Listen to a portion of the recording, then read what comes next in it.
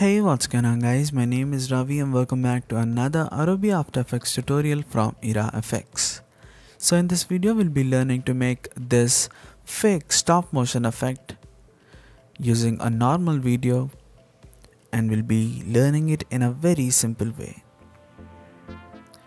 So I already have a video in my project let me drag this onto the small icon here so that a composition is created with that video settings. Let me play this video for you there are a couple of guys and they are jumping into a lake and we'd like to add a stop motion effect as they jump into the lake. To do that, I'll first right click on my video and from time, I'll click on time stretch and I'll change the stretch factor to around 200 so that the duration of the clip will become twice the original length. So if I start playing the video, you can see that it would look as if it has some slow motion effect. And to add a stop motion effect go to the effects and presets panel that you have on the right.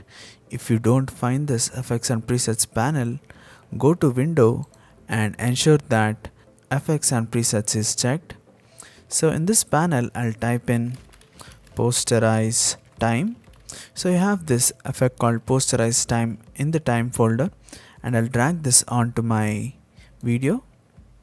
Once you do that you can see that the posterize time effect is added and I'll change the frame rate to around 5 and if I start playing the video you can see that we'll have this sort of fake stop motion effect added to our clip and that is what we need.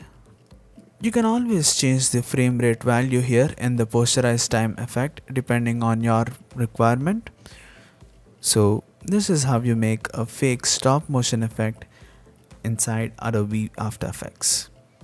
I hope you found this video helpful and if that's the case give us a thumbs up and if you'd like to talk with me regarding visual effects and video editing you can always reach out to me on Instagram.